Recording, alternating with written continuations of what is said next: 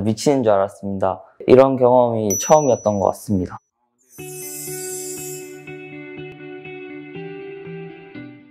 네, 저는 부산 중앙고등학교에 재학 중인 고1 박재준이라고 합니다. 어, winter 때 썼던 강안교육의 그 학습법이 마음에 들었고 그게 효과가 있었다 보니까 네, 신청하게 됐던 것 같습니다. 우선적으로 일단은 수학 개념들을 탄탄히 잡을 수 있어서 매우 도움이 되었던 것 같고 평소에는 영단어를 잘 안 외우게 되는데 여기 오면은 매일마다 외우니까 어휘력 이런 것들도 도움이 됐던 것 같고 또 국어 두 지문씩 매일마다 푸는 거 이런 것들이 매우 도움이 되었던 것 같습니다.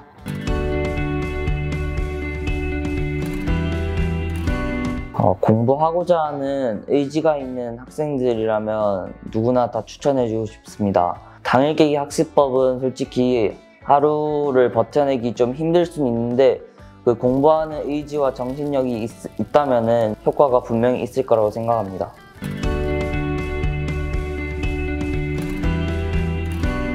어, 이렇게 오랫동안 자리에 앉아 있었던 적이 없어가지고 이런 경험이 처음이었던 것 같습니다. 이렇게 좋은 학습법을 만들어서 이제 학생들에게 가르쳐 주시고 유지시키게끔 해주신 선생님들께 다 감사하다는 말을 하고 싶습니다.